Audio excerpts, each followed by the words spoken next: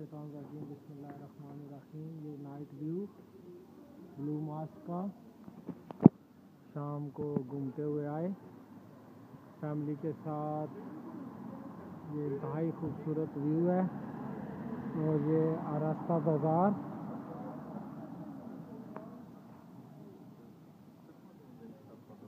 यहाँ भी शॉपें रात को बिज़नेस जो है वो तकरीबन सात बजे बंद कर देते हैं। सबसे अच्छी बात इधर की ये है, कुछ शॉपें जो है वो खुली रहती हैं।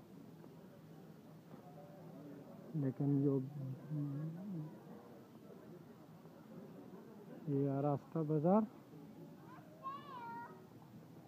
नाइस शॉप ढाई खूबसूरत दुकानें।